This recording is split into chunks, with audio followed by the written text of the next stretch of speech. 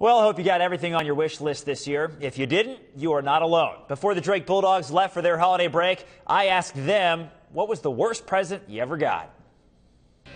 An unattractive tie laying around somewhere, but I can't really be uh, too specific. You get a lot of those ties? You, you, you, tend to get a few ties if you're a male and you're uh, in the coaching profession, yeah.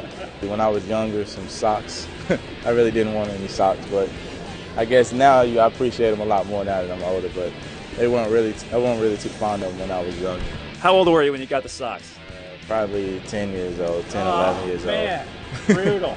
a family friend for like three straight years gave me the same sweater.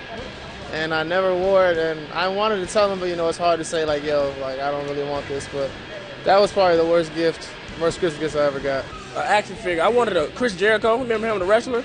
But they gave me like a Chris Benoit, so I didn't really like it. It was a different character, so that was the worst for me.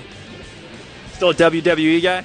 No, not anymore. Not anymore. It's all right. You can admit it. No, it used to be though. Not anymore. I asked my dad for the same shoes Rich has on right now, and he uh, he brought back like hiking ones. it was completely different than what I asked for, but it was it was all right.